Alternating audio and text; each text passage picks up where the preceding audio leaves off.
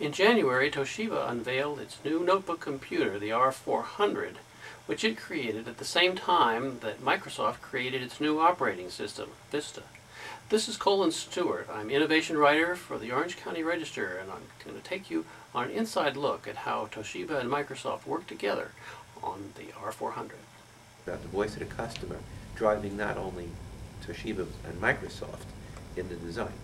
Then the, the two companies come together and say, we want this to be something people will always have with them, something that's more useful than a notebook is today.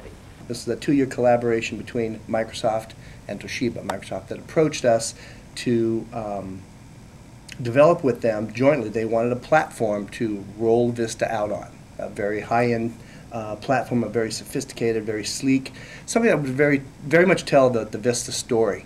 To have that machine more useful to, to you than a previous generation computer was because you now can have information displayed while it's closed.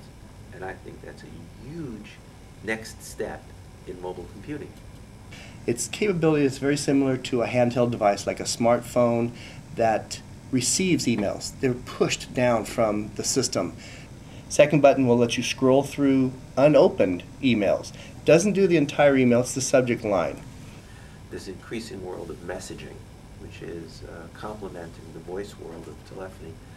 Uh, how do we, let- let's look down the future. Where do we put the extra screen? How do we display the information? How do we stop it from robbing the, uh, you know, the, the battery to?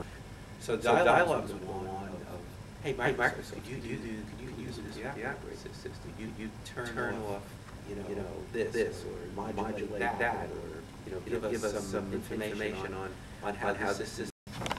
And they're they're talking talking to us, they say, can you make, this a little small? Could it fit in here? Could you, could we have this capability without violating, um, you know, you know the, the ultimate dimension, the likeness of a book and so forth? It makes you want to carry your computer with you everywhere.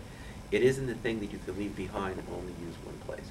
So we, we've expanded the, the value. We, we put in the screen, we put in the system behind it, Microsoft put in the operating system, all that power to bring a new type of notebook computer to the market.